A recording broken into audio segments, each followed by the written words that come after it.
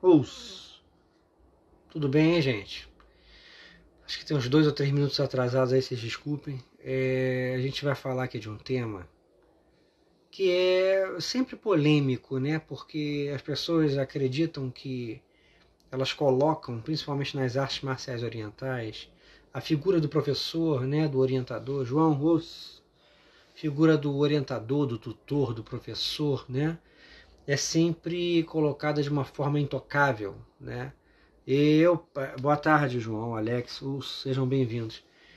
Lucas, os, desculpem o atraso, né? Cada um de vocês, fomos com uns dois ou três minutos de atraso. É, as pessoas colocam né, a imagem do professor, né, do, do orientador, do tutor, do indivíduo, como uma coisa quase que sagrada ali nas artes marciais orientais, né? Uma coisa é você ter admiração e respeito, né? Outra coisa bem diferente é colocar o indivíduo ali como uma coisa assim, de uma pessoa inquestionável, né? Boa tarde, é, Alex.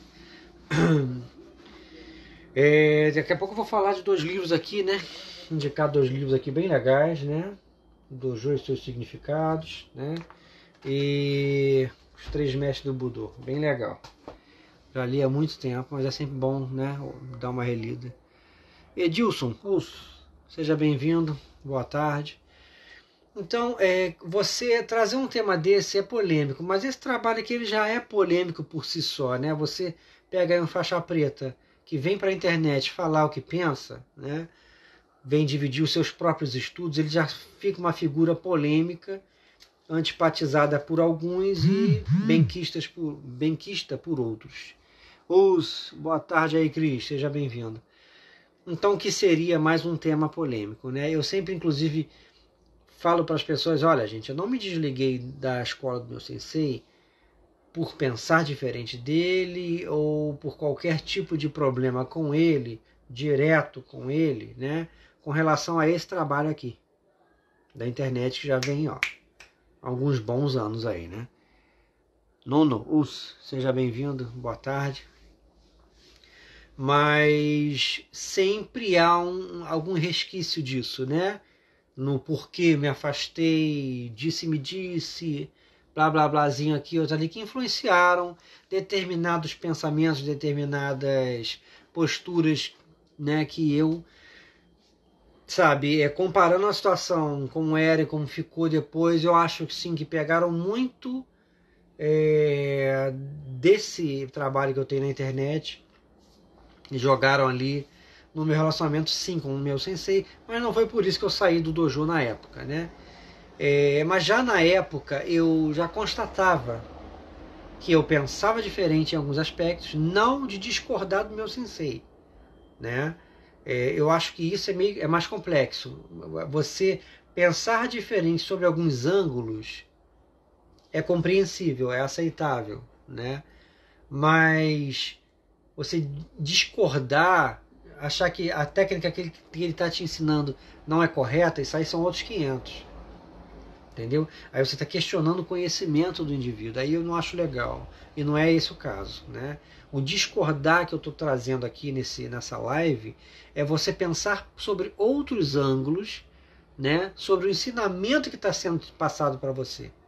Né? Então eu sempre narro aquele episódio em que o meu sensei narrou quando ele estava com o sensei dele, o sensei Benedito Nelson, mão de ferro, e ele fala que ele encurralou o sensei Benedito, né? E ele ia entrar com uma wash, né? Pô, e provavelmente um guiaco, né? E o que que acontece? Sensei Benedito caiu Neko Ashidashi, defendeu e aplicou Ipon no Kite aqui, né? No externo, perto do externo, né? Pum. Ele inclusive já havia perguntado para que, que servia essa técnica, que ele não sabia para quê, né? E o sensei Benedito havia falado para ele que é, um dia mostraria para ele.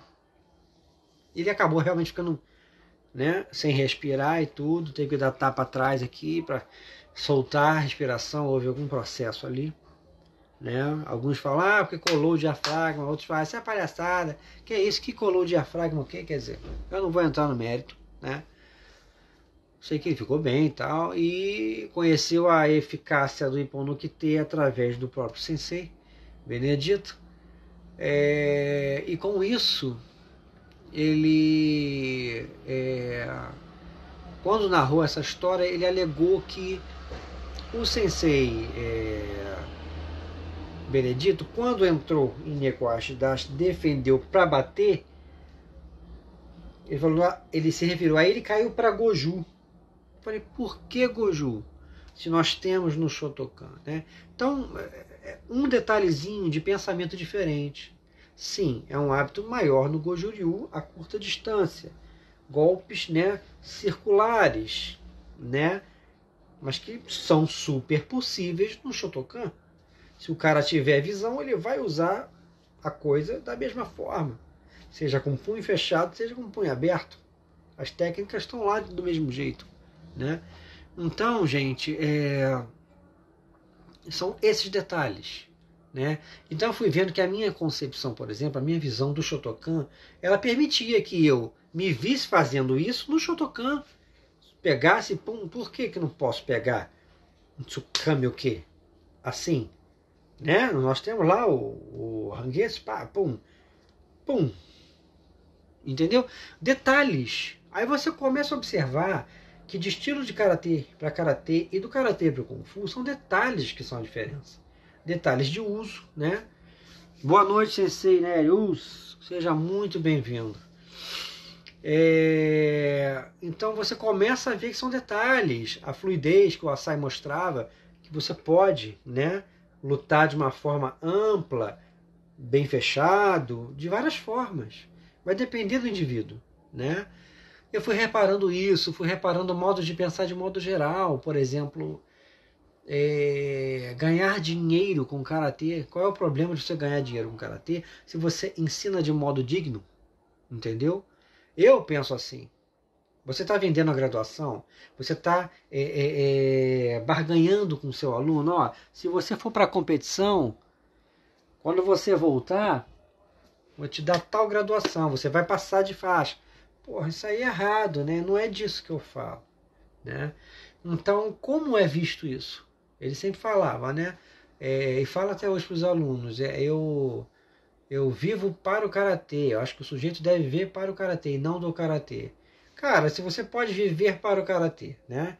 Que é o que a gente né, vive para praticar, né? Aquela coisa. Mas se você pode viver também do karatê, qual é o problema? se você estiver realmente ensinando o karatê, que vai ser funcional em ação, né? Vai trazer saúde, vai manter né, o equilíbrio emocional do indivíduo, e você está ganhando dinheiro com isso, qual é o problema? O problema, o único problema é que de fato é muito difícil de viver do karatê, né? É difícil de viver do karatê. Se a gente quer viver do karatê, é mais complexo. Por quê? Porque o que acham besteira, né? Quando eu falo, gente, isso é culpa lá de trás. Por que, que só o jiu-jitsu disparou? Nós tínhamos o cinema que traziam pessoas para as escolas de karatê. Jamais podemos fazer uma comparação do quanto o cinema trouxe de alunos para nós, que permaneceram, se formaram faixas pretas, e de quantas pessoas né, foram levadas para o jiu-jitsu através das lutas profissionais dos Gracies não se compara. Milhares de pessoas no Brasil e mundo inteiro se formaram faixas pretas e fizeram do jiu-jitsu um modo de vida para eles. Nós não tivemos isso. Por quê? Porque era restrito ao público que via o karatê no cinema, né? Mesmo que visse o Kung Fu e pensasse, ah, poxa, legal Kung Fu, vou lá me inscrever na, na, na, na academia de karatê que tem lá perto da minha casa. Ainda que fosse assim. Né? O sujeito ia, se fosse criança, adolescente ou adulto. Alguns, sim, obviamente chegaram à faixa preta e foram até a final, mas muitos pararam no caminho devido à complexidade, devido ao fato de constatarem que não é uma arte que você vai dominar profundamente rápido, né? E às vezes o cara frustra, o cara não quer num, num comitê ali, ele não quer defender e bater é, é, é, sem ser acertado, ele acha que vai ser igual no filme, que ele vai defender tudo, né? E não é assim, a realidade não é assim, né? Obrigado aí, Sensei Nery. Estou tentando né, expressar o que eu penso. E aí, gente, eu penso dessa forma. Então, é, nós não temos, não dá para comparar né, a, a, o apelo né, que o jiu-jitsu tem, por exemplo, comparado ao karatê. Então, eles podem, hoje em dia, se dar ao luxo de viver de jiu-jitsu. Porque não foram só lutas profissionais que levaram ao conhecimento público da eficiência, mas houve um, um, um, intencional pisar nas outras tradições, entendeu? Para dizer, tipo, olha, é a minha é melhor. E foram pisando e abaixando a qualidade dos outros. Não, para mim, na minha ótica, não foi justo, né? Mas é, é a vida, né? Deixaram isso acontecer. Hoje a gente vive as sombras de lutadores de jiu-jitsu, muay thai e boxe, né? Faixa preta é a faixa branca que nunca existiu, exatamente. E são poucos, né? Se comparado às massas, né? O Sensei Neri. São poucos, né? Então o que eu percebo é isso. É, é, é, eu discordo né, de alguns pontos do meu sensei, de alguns profissionais, né? Aquele, aquele, por exemplo, aquele detalhe que a gente estava falando. Ô sensei Flávio, seja muito bem-vindo. Aquele detalhe que estávamos falando de não virar a cabeça na hora de um, de um soco. Não pode. Você é ensinado a ficar ali rígido, né? Entrar rígido, não pode virar. Cara, se você estiver ali diante de um boxeador, é perigoso fazer isso. Entendeu? Então questiono sim, sabe? E não por isso, né? E aí nesse ponto da cabeça estou discordando de que eu deva é, confiar cegamente no meu Kamae a ponto de que nada vai me, me, me acertar. Isso não é assim, gente. Não é assim. O imprevisível está na minha frente quando eu estou lutando, até com um mendigo na rua. Do nada ele pode ter uma faca ali, eu não estou sabendo. Entendeu? Pode ter uma, uma, garrafa que eu não vi ao alcance, e bum, passa aqui no pescoço, acabou. Ah, mas você pode bloquear, você pode defender. Tá, mas eu sou humano, eu posso falhar. Entendeu? Eu tirei muito dessa pressão de invencibilidade, gente. E eu digo, eu vivo em paz. Eu não busco ser melhor que ninguém, que provar que eu sou o melhor do mundo, que eu sou o grande karateca do céu. Eu não, não trago isso para mim. Eu vivo em paz, tal. Eu erro, eu acerto. Eu posso ser acertado, eu posso acertar. Eu vivo muito mais em paz assim. Se eu for treinar com qualquer um dos amigos, pode ser que me acertem, pode ser que não normal, mas eu não tenho que trazer uma, uma, pressão de que não, não vai me acertar, eu vou ganhar a luta. Isso é horrível, viver assim. Pô, a gente tem que derrotar a gente mesmo, né?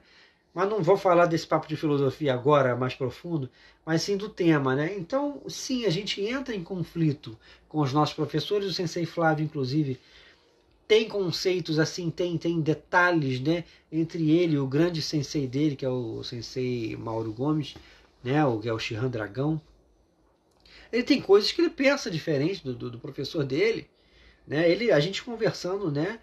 Ele fala não, nossos mestres realmente são cabeças duras, né? Eles foram tiveram determinadas criação, criações ali, determinada criação, né? Porque foi um mestre só que ensinou os dois, é, que realmente eles não vão entender o que a gente está querendo dizer, né?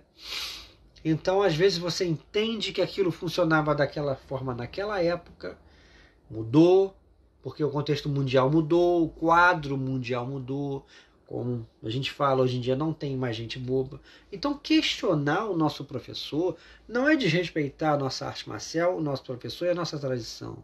Né? É estar ali, evoluindo, fluindo com estilo, porque o sensei passa para nós né? Determinado ensinamento, aplicação e ponto de vista, né? mas pode um outro sensei que você conhece ou que você até mesmo viu pela internet, vendo um vídeo, fazendo uma outra aplicação que ele não te ensinou na escola, tá? que por vezes ele não conhece, ou ele até conhece, mas não concorda com aquela aplicação, e você concorda. Então, cara, não quero causar rebuliço no cortiço, trazer um espírito de anarquia, mas essa é uma realidade. Né? O quão cego, por vezes, nós do tradicional somos com os nossos professores. Não pode ser assim. Sensei Jolielson, us, seja muito bem-vindo. Itoin, us, seja muito bem-vindo. Não sei o nome do Itoin, não sei se é o nome dele, se ele é estrangeiro. Né? Não estou lembrando se ele já me informou, eu acho que não, mas já está a segunda ou terceira vez aí. Então é, é uma questão de pensar. Né? É o que a gente sempre fala. Pô, a gente está sempre ali treinando karatê contra karatê. Mas a gente não está treinando karatê contra o boxe. Como é que eu vou sair do boxe aqui? Né? Não tem o estímulo dos nossos professores. Então, não seria uma discordância nós que achamos necessário treinar contra né, outros tipos de ataques ali, diferentes, né, e o nosso professor acha que tem que ser só o tradicional. E aí? Né? Isso é discordar e nem por isso a gente desrespeita o nosso professor e tal. Mas para alguns isso é heresia. Você tem que seguir cegamente o que seu professor está falando. E eu acho que não é assim. Eu acho, inclusive, que esse livro ajuda muito também a gente entender a estrutura, né? O dojo e seus significados. Não tem foto, tá, gente? É só, né? É... livro de, de, né? Todo escrito assim, sem foto, né? Mas, por exemplo, tem é, o, prefácio aqui, o sumário, né? Tem lá o dojo, visitante, né? O Kiaiko-san, o uniforme Gei-kogi, o Hakama, armas Buki, né? O santuário shintoísta Kamidana, né? Contemplação Mokuso, reverência é, Odirei, linguagem marcial Hegel, né? O sensei, dinheiro Okami, o aluno Dash, o ano do dojo, no dojo, né? É, e assim vai. Quer dizer, tem um apanhado bem legal de tudo que, que explica lá. Ele fala do, do, do do Kamizar, né, que fica ali. Ele explica a estrutura. É bem legal. O dojo e seus significados. Esse aqui, editora Pensamento, tá? Outra coisa que eu queria falar que eu esqueci a live de ontem eu não consegui postar no YouTube porque eu não sei o que, aconteceu. Que apesar do, do, do de eu apertar para salvar no celular, para poder jogar lá no YouTube, aconteceu alguma coisa que não baixou no meu celular. Então a live de ontem, né, não ficou registrada. Depois eu falo desse aqui, os três mestres do Budu. Então é normal a gente é, discordar de um professor, de um chefe, dos pais, né? Agora, isso não necessariamente quer dizer que você discorda do ensinamento, você às vezes discorda de uma ótica. Né? E isso, com relação. Fábio, uh, tudo bem, Fábio? Boa tarde, seja bem-vindo. É, Fábio é médico. Qualquer coisa, que tiver alguém com dor aí, ó, fala com ele aí, ó. Sacanagem, é brincadeira, porque eu perturbo o Fábio aqui, que era meu amigo de infância, de adolescência e ele é médico e volta e meia eu falo com ele quando eu tô com algum problema, me sinto até chato. Falei, pô, o Fábio vai achar que eu só procuro ele quando, quando tô doente, né? Então é, é uma coisa normal a gente questionar, desde que a gente questione com respeito. Às vezes o nosso professor não deixa espaço, né? Por exemplo, é, é, existiam os aspectos que eu via que meu sensei não concordava pelo papo que tínhamos, né? E nem por isso eu ia lá e ficava cutucando. Eu falei, bom, pensa diferente, fazer o quê, né? Mas eu falo para vocês uma coisa, eu tinha, eu tive dois, duas intuições com relação ao dojo onde eu estudava e ao meu sensei, né? Eu sabia, eu conversava com ele, inclusive o Fábio era, nós éramos vizinhos, né? Eu e o Fábio e o nosso, o meu sensei, né? Ele era nosso vizinho de prédio. Né? Eu e o Fábio morávamos no mesmo andar, né? que está aqui conosco. Não sei se ainda está, ele vai estar tá registrando aqui que ele entrou. E o meu sensei, né? o sensei Kung, Carlos Henrique, morava no segundo andar, um outro andar. E eu sempre, quando eu descia lá do décimo para falar com o sensei, para mostrar a revista, que eu sabia que ele era um mestre de karatê, né? Na época eu praticava taekwondo, não tinha nada a ver. E eu falava, né? eu falava é, é, é, com ele sobre as, as, revistas, né? Se eu tivesse algum livro, coisa que eu não tinha muito na época, levava, né? Mas levava mais as revistas que há, Cinturão Negro, aquela samurai antiga, etc, né? Porque eu gostava do assunto, como eu sempre explico, né? Fui parar no estudo das artes marciais em função das influências do meu pai e tal, que tinha vago conhecimento de artes marciais chinesas e tudo. E aí, é, toda vez que eu deixava o sensei Kung lá, né? E fechava a porta, eu virava para ir embora, sempre alguma coisa naquele longo corredor que o Fábio conhece, sempre um pensamento me vinha. Não sei porquê, mas ainda vou ser aluno dele. Tenho a impressão que ainda vou, porque era uma afinidade grande, né? E o Sensei Kung ele tem isso, ele se encanta com quem tem aquela sede do conhecimento pelo que ele sabe e quer passar, como todo bom professor. Né? Então, é, essa impressão eu tinha e o tempo mostrou essa realidade. Eu virei aluno dele de fato, né, do Sensei Kung. E diante dos pensamentos né, que foram tomando cada vez mais maturidade e forma é, durante o estudo do karatê, né, ainda que eu não tivesse nos tempos né, em que estudava né, na minha caminhada rumo à faixa preta e tal, até porque me aperfeiçoou, né? Depois da faixa preta começa a lapidar, mas eu já não estava mais lá, né? Diante de determinado tempo. Eu peguei faixa preta, continuei no dojo, mas depois é que eu saio, né? Então, é, durante esse período de estudo de karatê, eu fui percebendo, né? Eu tinha a mesma impressão que eu tinha quando eu não era aluno dele, que eu seria aluno dele, né? eu tinha a impressão de que um dia eu seria um dos patinhos feios da escola. Entendeu? Que eu seria, é, eu não sei se chega a ser um renegado, acho que não, mas uma pessoa que, entendeu, se desligou e que ficaram umas críticas dos amigos e outros elogios, né? Porque ali é assim, né? Aquela coisa, uns criticam, outros defendem, me defendem. Então, é, dito e feito, né? O tempo mostrou que realmente diante das circunstâncias ali que, que, que eu me deparava, né, eu preferi sair na época, né? É, houve uma determinada atitude que eu não gostei, né? Que não tem a ver necessariamente com os meus vídeos, com esse trabalho que eu tenho online, com a minha concepção exposta, né? Tem e não tem. Eu não posso dizer que foi por causa disso, né? E eu saí da escola. Então, realmente foram duas impressões fortíssimas que eu tive que realmente se cumpriram, né?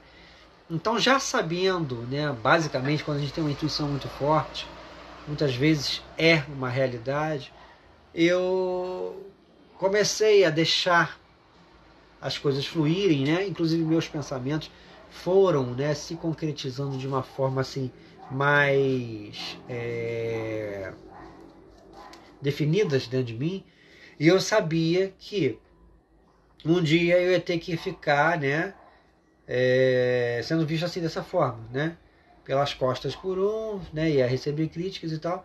Então eu dei corda realmente para os meus estudos. Falei, cara, tudo bem, nós temos estudos lá, formais e uniformes que todos recebem. Mas o que eu estou chegando à conclusão, observando outros mestres, sobre nosso próprio estilo, também não está errado. E por que, que eu não vou adotar essa verdade? Por que, que eu tenho que seguir cegamente só a verdade da minha escola? Não concordo. Não é, não faz parte da minha natureza isso, né? Por exemplo, eu poderia ser um cara radical que acha que para ser bom em artes marciais eu preciso ser bom em vários estilos, né, de artes marciais e pronto, misturar. Não, eu acredito sim no caminho tradicional e individualmente que todos são excelentes, né? e se encontram tecnicamente, como foi o, o livro do, do Aikido que eu trouxe aqui do sensei Wagner Bull, que por sua vez, né, tá lá ele executando técnicas de karatê no livro, né? Então eu fico pensando, cara, é, poxa, por que que é tão errado assim, né?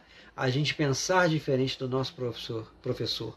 Por quê? Porque nós não estamos mais no Japão feudal, Okinawa antiga, China antiga. Nós não estamos mais naquele período que o mestre ficava lá, ensinava, você tinha que seguir, aprender, aprender na prática, sem muitos detalhes.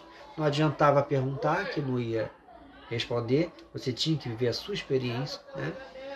E não podia questionar o professor. né?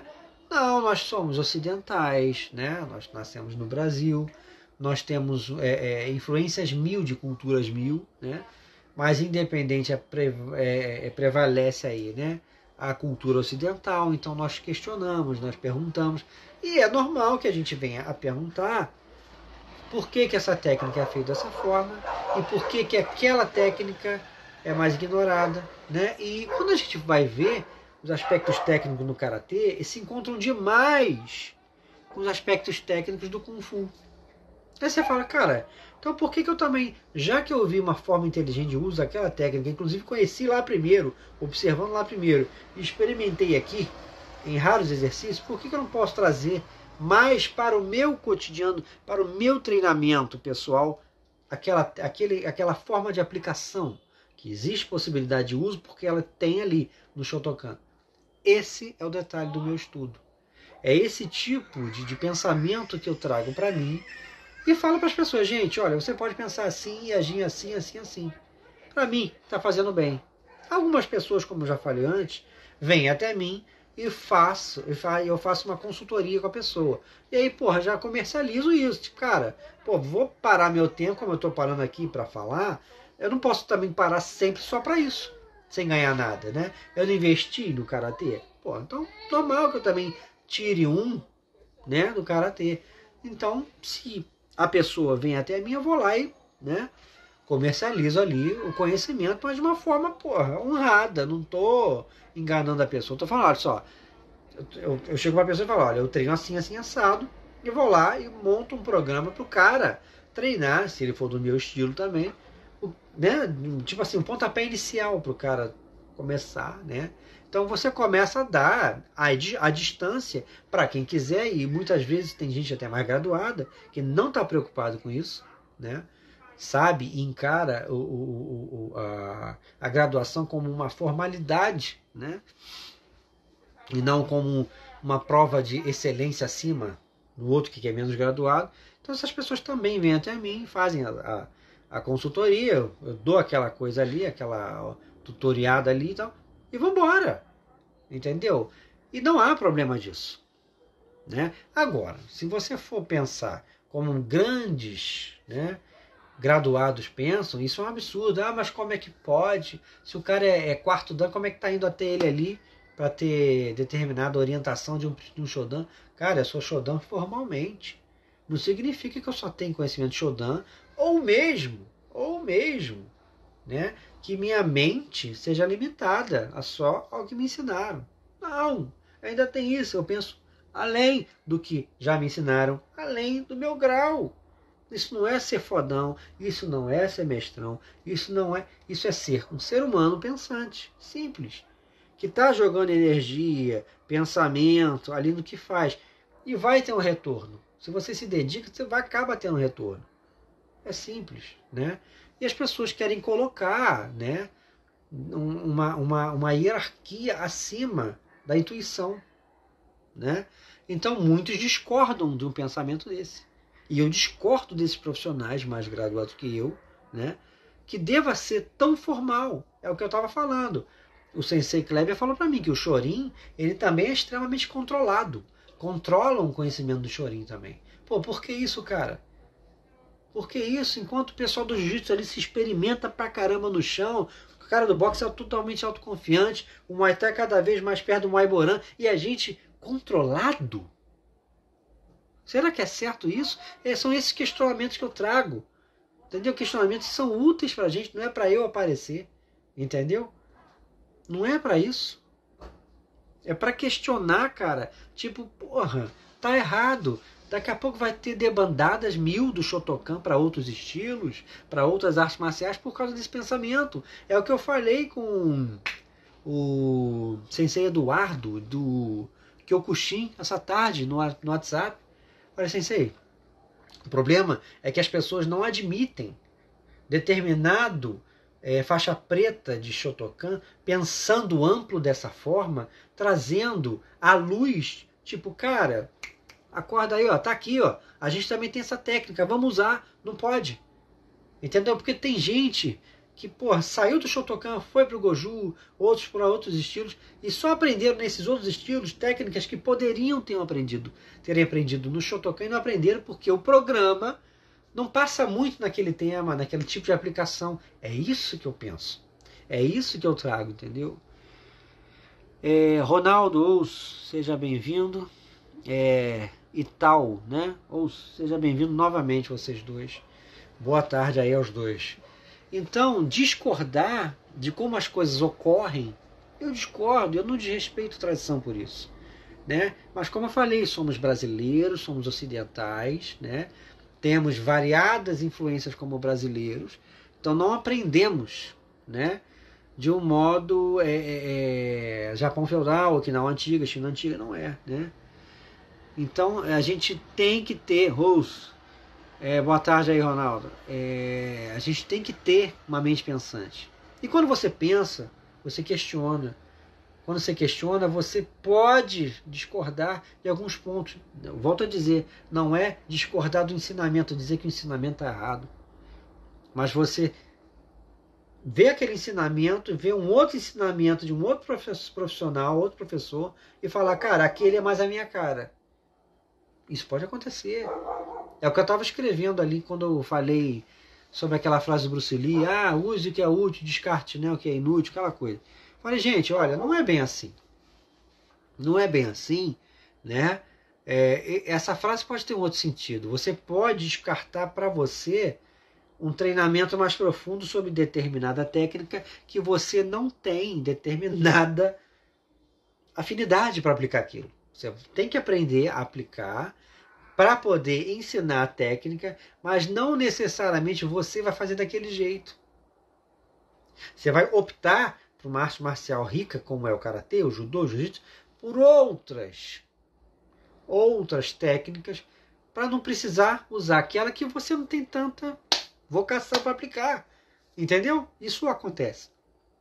Então, você não vai descartar como técnica, você só não vai é, é, contar com aquilo para você aplicar. Mas você tem que saber para passar adiante, porque se funcionou com alguém, pode funcionar com um aluno seu. Entendeu? O que eu acho da dificuldade de treinar duas artes diferentes. É, e tal, né? Seu nome. Olha, e tal, eu acho que o primeiro você tem que dominar um bem. Dominou um bem, entendeu a estrutura daquele, né? Chegando na faixa preta com maturidade, você pode se permitir estudar uma outra arte marcial seja ela familiar, que você já, já se formou faixa preta, ou muito diferente, como assim, karatê para o judô, karatê para o jiu-jitsu, né? Tem diferenças, né? Não é, existem algumas técnicas que são parecidas, algumas são as mesmas, mas o ponto forte do karatê sempre será mais o atemiwasa, né? O judô mais o Nagewasa, e algo dependendo do dojo e o jiu-jitsu muito mais Neuasa. Então há uma diferença, né? Mas se você vai do Shotokan pro Goju, é muita similaridade. Shotokan pro Shito. Ah, eu não acho, porque o Goju luta mais curtinho ali e tal. Cara, mas na prática, o Raito é o Raito, o Shuto é o Shuto. Você vai ver que é a mesma coisa que você faz no Shotokan, você está fazendo no Goju Ryu. Então a estrutura é muito mais parecida, né? Mas ainda assim, é, se dedica bem ao Shotokan, vamos supor que você seja Shotokan, para depois se dedicar ao Goju Ryu, ao Kyokushin, seja o que for. Entendeu? Porque estudar paralelamente nem todo mundo consegue. Eu consegui, tá? Embora tenha me formado só no Shotokan, né? Porque não havia um foco na minha escola de formar os alunos de faixa preta, faixa preta. Mas é, quando eu cheguei na preta, o meu sensei falou: agora você pode procurar judô, jiu-jitsu, aikido, o que você preferir. Eu falei: qual que o senhor aconselha? Bom, desses três, o judô. Ele aconselhou. É a, é a mentalidade dele, entendeu? Deixa eu ver se eu perdi alguma coisa aqui, peraí. Eu já discordei do meu sensei em relação ao Makiwara. Mas, mas o Makiwara é bom, João. Não ignora o Makiwara, não. Não sei o que, que vocês estavam falando, né? Mas não discorda da eficiência, não, porque Maquiara para poder afiar calo é ótimo. Dá os calos aqui, né, irmão? Sensei Fernando conseguiu me pegar aqui, né? Me, me achar. É, eu treino karatê e judô, Ronaldo disse aqui. Para mim é muito bom, também tem me ajudado muito. Mas é aquilo que eu falei, é, você são duas artes marciais que uma não atrapalha, né? na outra, mas ainda assim o melhor a fazer é se formar em uma primeiro, depois na outra, né?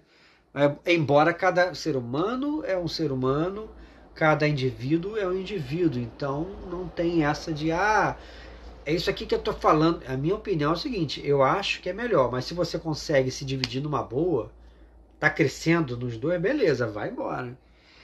E tal, né? É do Goju, legal. É, eu, tentei, eu, eu treinei paralelamente Neo Goju Ryu na minha escola Shotokan com o meu sensei mesmo. É, eu e o sensei Flávio tava, que tá aqui, eu tava aqui, eu não sei se ele saiu. É, ele era aluno, ele é aluno do Sensei Dragão, eu era aluno do Sensei Kung, os dois foram alunos do Sensei Benedito. Então ambos aprenderam Shotokan Goju Ryu, né? E nós também pegamos muito do Goju Ryu. Só que não nos formamos faixas pretas em Goju Ryu, tá? A gente tem qualificação talvez de faixa marrom, né? Segundo, por exemplo, o Sensei Kotsubo, né? Kotsubo, né? Lá da, da, da IKGA nos aceitaria, por exemplo, né? Então a gente viu bastante coisas bem legais, né? Mas eu acho que falta muito assim, né? Se você eu quiser realmente e tiver uma oportunidade, eu tenho que me concentrar muito mais ali só no Goju nos detalhes, né? Eu sei que me desenvolveria bem porque eu tenho uma determinada afinidade, né? Mas tipo assim, deu para trabalhar os dois juntos. Eu não conseguiria karatê, shotokan e taekwondo, porque eu saí do taekwondo e fui pro karatê. Se eu tivesse que praticar as duas teorias juntos, eu saberia, mas ia ser uma confusão danada. Se eu tivesse segunda-feira eu estou no karatê, na terça eu estou no taekwondo, é complicado, né? Porque a teoria até para chutar é diferente, entendeu? Então algumas coisas embolam sim. É, o João Ronaldo falou que para ele não atrapalha. É, aí o João está explicando o Makiwara, né? É que, ele, que ela me disse que o Makiwara não seria bom para comitê. Ah, exatamente. Então é ele ou ela que estão errados porque quer poupar o, o, o Karatê Esporte. É, mas tem que ficar pesada mesmo. Você, você não viu o. o eu é, discorda dela mesmo, ela tá errada. É, exatamente, respeita, né? Obviamente, a opinião, mas pode discordar. Porque, cara, você tirar o Makiwara do Karatê, cara. Tirar, sabe, do, daquele cara que, pô, tá ali e quer viver do Karatê. Pelo amor de Deus. Se não vive do Karatê, mas trabalha com Karatê, Amigo, calinho na mão, tem que estar tá, o oção aqui, tem que estar tá trabalhado o negócio. Sabe, não dá para ser mão de moça, aquelas mãos que, sabe, não aparece nem. Porra, pelo amor de Deus. Sabe, é, não, tem lógica aí, o, o, o, é sensei e tal, não, eu não sei, você também é, é sensei, não sei. Cara, karatê faz parte, é o que eu falo, as pessoas cobram que o karatê seja forte, né? no, no, na prática. Mas elas abandonam os fundamentos da arte. Entendeu? Todo mundo só quer ficar socando é, saquinho de pancada, lá o Shadow Box, não quer fazer tudo, mas não quer treinar maquiara, calejar, sabe? É, é uma coisa assim, cara, tu entende por que, que enfraquece a cultura da coisa, diz que é arcaico, que é antigo, que não presta, que vai fazer mal para as juntas, Cara, não dá para praticar assim. Entendeu? Não vai crescer como eram os caras, né? E eu acredito o seguinte, acredito no seguinte, tem que treinar os fundamentos da época, né? Mas com a mente calcada com o pé aqui no chão, no mundo contemporâneo, porque mudou as coisas. O cara do boxe, do boxe não vai ficar ali paradinho esperando porra, um soco do karateca. E a gente não vai botar terror num cara, num, num cara do boxe uma postura bem né, oriental, não vai, não é mais assim, não é mais assim, entendeu? Então por aí a gente vê, sabe, os estilos eles se encontram e os mestres dividem. Essa é a verdade. E eu fui vendo, falei, cara, pra que isso, meu irmão? Cara, ter um só, como dizia o Funakoshi, que é na Mabune, de repente até o próprio Miyagi falava isso. Cara, ter um só, quem divide é o ser humano, cara.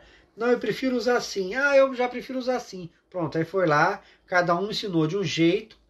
Os alunos foram ver, ah, mas meu professor ensinou assim. Então é assim que é o certo. Cara, olha, eu ensinei, o outro aqui ensinou o Gedambara arredondado, né? Lá no Goju, por exemplo, que é mais arredondado tudo, né? No Goju é mais arredondado. Pô, cara, é circular, né? Cara, nenhum nem outro é errado. São duas formas. Por que, que os dois não podem conhecer, né? E, e, e, um praticar o modo do outro? O mestre Fumio Demura, ele costumava, ele na entrevista daquele livro que eu trouxe aqui na outra live, ao sensei José Aguiar, também do Shitoryu, ele fala, pô, nós adorávamos ver o pessoal do Shotokan treinar os kata que a gente treinava, porque a gente gostava da forma de execução deles. Quer dizer, olha só. E lá eles treinavam o modo do que no Mamune, era outra forma de aplicação, de execução, né? Quer dizer, olha só, pô, a gente está falando aí, ó, de mestres japoneses, já havia isso entre eles, de um cara gostar de outra forma, de outro estilo. Então, se a gente encara o karatê como uma coisa só, a gente vai achar normal o cara ser faixa preta de Shotokan, ter um conhecimento não só de kata, de Gojuryu, Shitoryu, seja o que for, né? Como ele aplicar o Shotokan de uma, de uma modo, de um modo inteligente, né? E que seja sintonizado com outros estilos. Porque é possível esse encontro. Entendeu?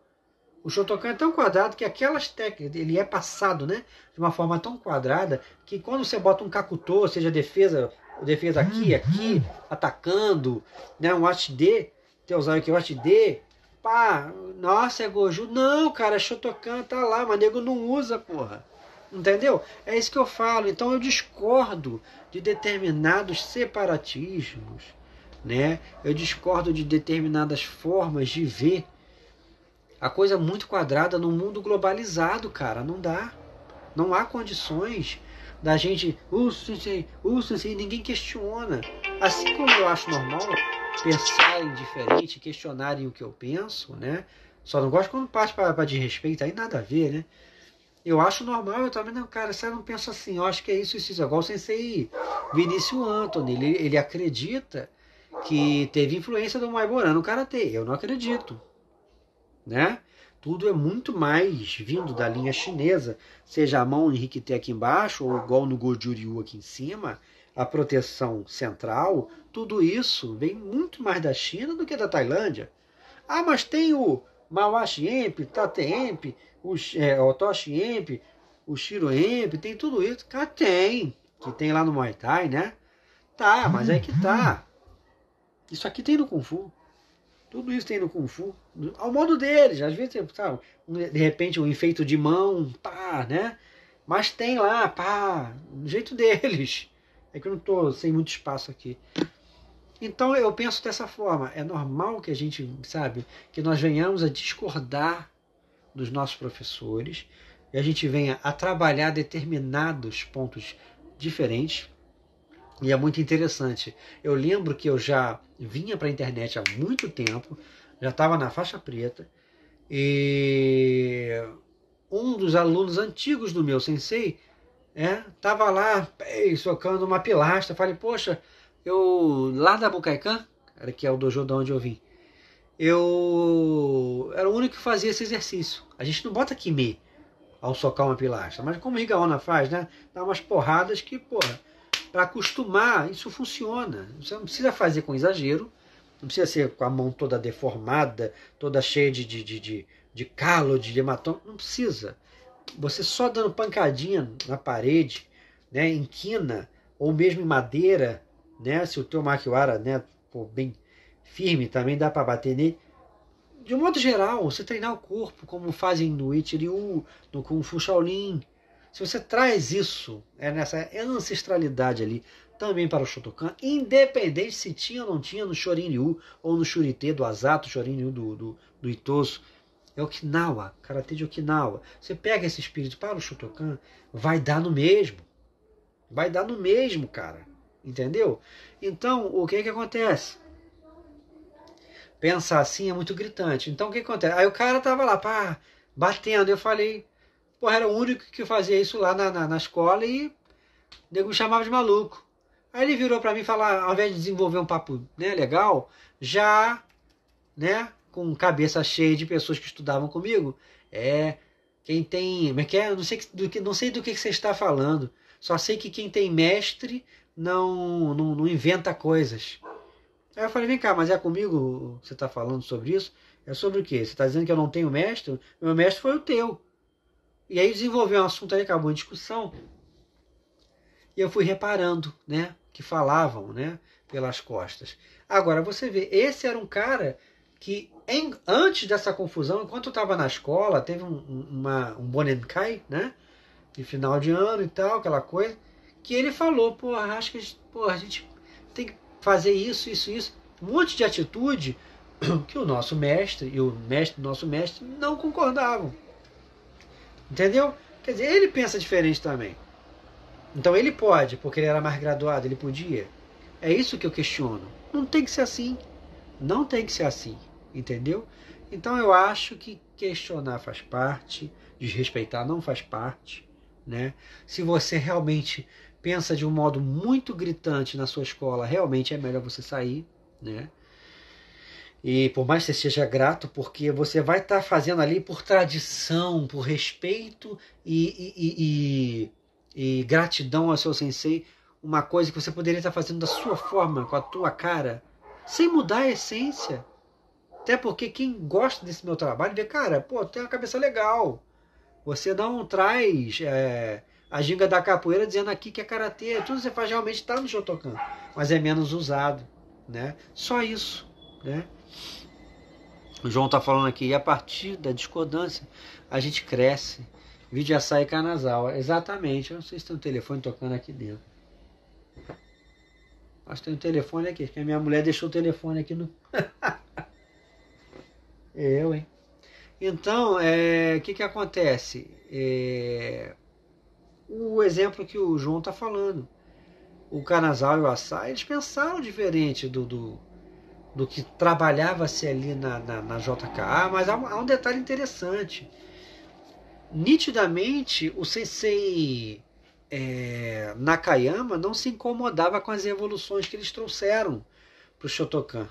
Né? Porque isso aí é mostrado nitidamente nos livros, né? o melhor do Karatê, quando ele fala, ele separa, o Sensei Nakayama fala separadamente de cada instrutor da escola. Então ele fala do Keigoabe, do Asai, do Kanazawa, entre tantos outros, né? tanto mestre ali. Até o Yahara já estava lá. Então ele fala ali das, das, características de cada um. E eles já eram o que a gente vê nas escolas dele. Né? Então eles saem mais pela talvez dificuldade de compreensão dos amigos ali. Eu acho que já estava criando ali um disse-me-disse -disse desagradável, entendeu? Eu acho que é mais isso. Tanto que o Sensei Asai comentou, né, em particular, né, com o Sensei Sorraco Bastos, um grande mestre de karatê aqui do Rio de Janeiro, Brasil, que estava no Japão na época, talvez já morando, que ele morou lá, virou monge, até o Sorraco, né, vem desse aí, né, Sorraco Yin, vem desse período, e ele fala para o Sensei Sorraco isso. Eu lamento muito meus companheiros não enxergarem o karatê como eu. E era a mesma coisa que provavelmente o Sensei Kanazawa passou, né? Então se viram, né? É, obrigados a caírem fora, né? Inclusive dizem que foram os nomes cotados pós falecimento de Sensei Nakayama para serem os líderes, né, os cabeças, para vocês verem, né? Porra, o nego falava, mas o nego sabia que os caras tinham, ah, não só eram antiquíssimos, né? Mais que muitos ali, mais que Masahiko Tanaka, Kagawa, esse pessoal vem bem depois, né? E não foram chamados porque no final das contas o espírito, né, da mafiosidade ali falou mais alto, vieram alegar que o Assai seria muito político, pelo amor de Deus, como é que pode? Eu ouvi essa alegação. O Sensei Assai seria político, então é melhor não. Pô, político foi quem pensou isso. Entendeu? Então é o que a gente vê, é, sabe? Tem que ser natural na prática, no modo de pensar, né? Eu acho que quanto mais caminhar assim, a gente vai valorizar o estilo, as técnicas que são deixadas de lado, vai valorizar é, o que acham que é mistificar, né? Que é você usar o corpo de uma forma realmente integral ali no karatê como né, é, era né, no passado. sem aderir só aos aspectos competitivos, sem. Ah, mas o karatê moderno é isso, cara. Então pratique você, sabe? Eu, eu não gosto do karatê de competição da WKF, como também não gosto do karatê combat, porque parece o cara lá da, da, da WKF querendo mostrar que ele é durão, sabe? Eu não gosto de criticar porque eu não tô lá, né? Eu não tô. Eu, não, eu não tô aparecendo com eles, eu não tô batendo e levando porrada com eles, quer dizer, eles têm os méritos deles, mas eu não quero aquilo para mim, por exemplo. Né? Então não me cabe julgar lutadores de MMA, competidores de, do karatê ao modo WKF, mas cabe a mim escolher o que, que eu quero para mim, o que, que eu quero ver, o que, que eu quero vivenciar, né? Então não gosto de fazer crítica, mas por exemplo, se é isso que temos aí, não gosto nem de um nem de outro, né? Respeito vários tipos de, de manifestações nas artes marciais, sejam elas tradicionais ou modernas, né? marciais e esportivas, mas eu sei o que eu quero para mim. Né? E esse trabalho que eu tenho, ele é muito independente, né? por causa disso, porque é uma pessoa pensante, né? que se qualificou com faixa, faixa preta, que continuou a observar, que tem relacionamento com outros profissionais de karatê Shotokan e de outros estilos, que vai trocando, que vai crescendo sem se importar com julgamento, porque vão sempre julgar mal a gente, vão julgar bem e julgar mal, não dá para agradar todo mundo. Entendeu? Assim como lá o, o tal do André Luiz, lá, aluno do, do Kotsu, o cara não gosta de mim, não gosta do meu trabalho, adorava ficar cutucando. falei, vem cá, meu amigo, então vamos, então vamos que vamos. Me prova que eu sou merda. Não, eu sou da paz, já quer dizer, já muda. Amarela, quer dizer, porra, tá? Sabe entrar na minha postagem para ficar me sacaneando, né? Mas fica aí, né? Na hora que você chama pro pau, o cara. Sabe, não, eu não sou assim. Eu não tenho essa natureza de ficar chamando as outras, os outros para porradaria. Mas, cara, tudo tem um limite. Eu estou trabalhando aqui no meu, no meu espaço, seja no meu canal, na, no Facebook, aqui. Porra, e o cara fica, ah, não vejo conteúdo, não entendo nada que você fala, acho que o teu trabalho não acrescenta em nada. Pô, cara, então eu ignoro o trabalho. Entendeu? Aí quando você vai ver, o cara não tem. Me falaram que o cara não mete bronca no treinamento, que o cara saiu do Shotokan para Seigokan, depois para IKGA. Entendeu? Aí tô expondo o babaca aqui, porque é um babaca, cara. Deixa os outros trabalhar, ficar entrando para ficar. Fui lá e tive que bloquear. Tive que bloquear. Entendeu? Mas tudo tem limite. Entendeu? Já, já tive que aturar desaforo porque o cara era mais graduado e me falaram, vai pegar a mão para você e eu deixei falar. Então já aconteceu isso, né? Então, cara, nesse meio a gente discorda de professores, é um processo normal, como discorda de posturas das pessoas, né? É muita hipocrisia, é muita mentira, sabe? Muita vaidade. Então é normal que a gente se desgaste no ambiente, é normal que queiram fazer o que eu faço, que é dar um tempo no ambiente, estudar qual é o melhor lugar para poder realmente estudar, voltar a estudar para se graduar, né? Porque conhecimento, cara, a gente tem tá sempre colhendo. A gente está sempre refletindo. Se você tem um determinado nível de maturidade dentro da coisa, dá para fazer isso. Se você não tem, você realmente tem que comer mais o feijão com arroz e tal, depender muito mais, né? Eu dependo de mestre, claro, como todos nós, para aprender mais. Mas eu sobrevivo com o conhecimento que eu tenho. Eu tenho como sobreviver, entendeu? Mas eu estou aberto a mais conhecimentos, entendeu? Só que aquilo, tem que ser no local certo, com a pessoa certa. Senão, meu irmão, eu não tenho mais saco para determinados ambientes. Entendeu? Não tem. Um local que vai ter rivalidade, que vai ter ego falando mais alto do que a, a filosofia da arte, a essência. Não, não dá, né? Adrian, ouço, seja bem-vindo. Então, basicamente isso, né? E para falar rapidamente, ó, aconselho esse livro aqui, ó. Os Três Mestres do Budô, deve, como sempre, estar tá aparecendo ao contrário. Muito legal. Fala do Sensei Shigoro Kano, pai do judô, Sensei Funakoshi e Sensei Moriei Ueshiba, tá? Os três aqui. Também não tem muita foto, tem poucas fotos, se eu não me engano, né? Sensei, a parte do Sensei Funakoshi, né? Muito bom. Tem ele aqui quebrando pau aqui com o aluno. Tem ele no Makiwara, né? foto clássica dele. Tem ele no Makiwara aqui e tem ele com um aluno, se eu não me engano, aqui. Cadê o homem? Cadê o homem? Pera aí. Uma ali muito pequena. Eu tenho a impressão de ter visto uma. E tem aqui, ele com um aluno, né, já idoso, né? E é muito legal, tem a parte do Jigoro Kano também é muito legal aqui, né? É muito legal, cara. Muito detalhado, sabe?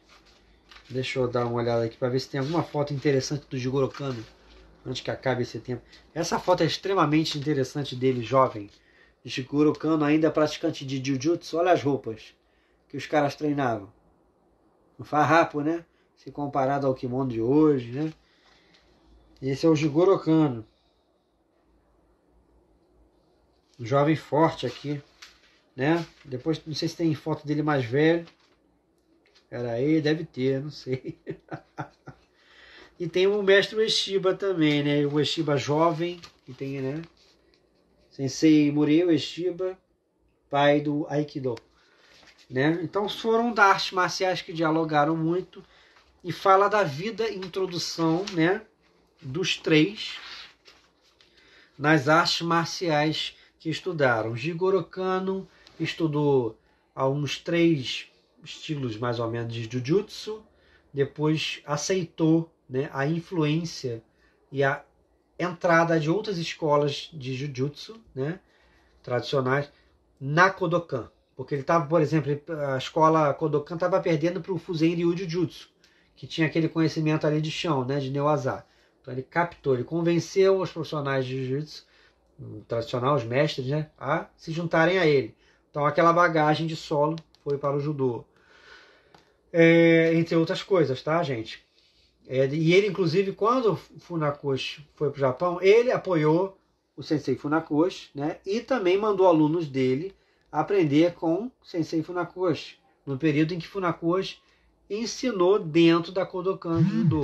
Portanto, é, o judô pega a bagagem do solo e de Atemi Asa também, né?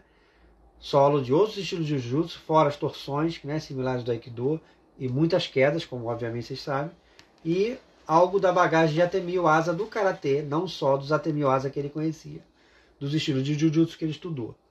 E o Eshiva estuda também alguns estilos de Jiu-Jitsu, inclusive o Kitoryu, que ele também estudou, mas depois que conhece Sokaku Takeda, né, que era o responsável pelo Daitoryu Aikijutsu, se apaixona pelo Aikijutsu, vira um aluno lá extremamente submisso, né? do Sokaku Takeda e aprende Aikijutsu, ensina durante muito tempo, antes do período da Segunda Guerra, com essa pegada né, de, de Aikijutsu, ou seja, torções e atemi. Né? Posteriormente à guerra ele faz o Aikido, né, com uma postura mais branda. Funakoshi, como a gente sabe, aprendeu com o Sensei Asato o Shurite, né? E posteriormente foi estudar com o Sensei Anko Itosu o Shorin Ryu. Esse conhecimento ele leva o Japão, né? conhece de Kano do judô, que ajuda a difundir. Com o tempo, os alunos, né? o filho dele com os alunos vão dando essa cara do Shotokan que a gente conhece. Mas a bagagem dele é Shurite e o Shorin-ryu. Muito bons livros, né? Tem que ler para saber. Não é só entrar no kimono e lutar, sabe? Ficar lá fazendo bonitinho. Não é. Tem muita coisa envolvida, né? Se a gente quiser dar aulas, se a gente quiser é, falar com propriedade, executar com propriedade. Ah, mas por que você aplica dessa forma? Ah, pô, tem outra forma. Sim. Do, de quem? Do mestre fulano. Aí você tem que saber quem é o mestre fulano. Então sempre a literatura, né? Agora aquela velha história, né? Da pena e a espada, né? Da, da cultura samurai lá com, com Miyamoto Musashi, né? A cultura, né? Aliado ao lado guerreiro, pena e a espada, a arte né, e a guerra. Né? Então a gente tem que estar ligado nisso aí. Né? E esse processo né, de discordância dos nossos professores, dos nossos tutores, é normal, faz parte do show, desde que não haja de respeito nem difamação dos nossos professores. Né? Até porque eu concordo com tudo que meu professor falava, só que alguns pontos eu penso diferente e mostro para as pessoas de, uma, de um modo diferente, né? É isso aí, muito obrigado. Amanhã eu tô aí de novo e se Deus quiser cada vez mais, né? Cada vez melhor da perna. Um abraço aí para todo mundo. Os